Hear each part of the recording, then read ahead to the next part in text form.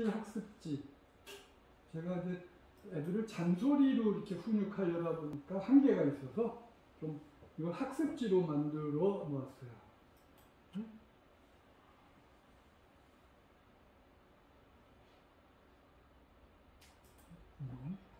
그 중에 지, 지리 음, 학습지는 이렇게 찌질이 올림픽이다 학습지를 만들어봤어요. 뒷담 깐 놈, 뒷담 전한 놈, 뒷담 듣고 화낸 놈. 이거 제가 이 전교생 다 모든 교실 다 뿌려서 통계를 냈어요. 이 중에 누가 제일 찌질하니? 뒷담 깐 놈, 전한 놈, 뒷담 듣고 화낸 놈. A, 1, 2, 3, 4. 그때 묘하게 뒷담 전한 놈을 가장 감사한 자로 봅니다. 그래서 요거 요 학습지 찌질이 올림픽 이렇게 검색하시면 나와요. 네, 요거를 해서 통계를 내 가지고 통계를 해서 저기 이 자리에 붙여주세요. 어, 왜 안경 안 가지고? 여기다 붙여.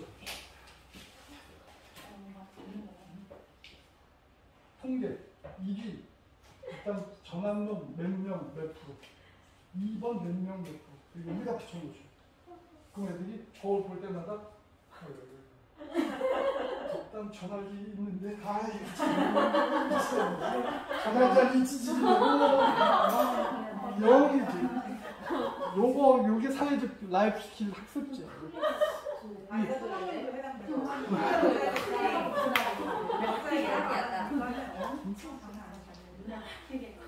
어, 그리- 그리고 어 아예 플로터를 출력해서 어, 저기 여기 크게 전교생 거 해주세요. 그럼 이게 제가 만든 life skill 학습지 중에 가장 인기를 끌었어요. 어, 재밌으니까 애들 좀 머리에 쥐나는 거야. 어떤 놈이 찌질한 거야. 근데 이게 근데 이게 지금 재미있게 웃고 하는데 사실은 이거 하나하나가 저의 아픔이에요. 얘들이 수학여행 고1 애들이 수학여행 갔다 왔는데 한 놈이 코뼈가 부러졌네. 그 사안조사를 해보니까 뒷담 깠다고 하고 이런 이런 게 누가 직접 전했어. 근데 알고 보니 뒷담을 안 했어 걔는. 아, 그게 이 찌질한 새끼들.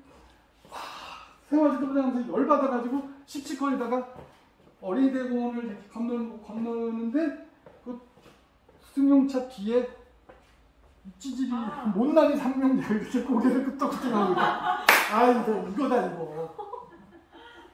개념 없다 한탄 말고 어떻게 하자? 집요하게 교육하자. 그래서 바로 그 다음날 가서 찌질이 올림픽 학습지 만들어서 학습 모든 전교생을 통계낸 거예요. 그래서 식당 입구에다 이땀 잘 붙여놨지. 그렇게 했습니다.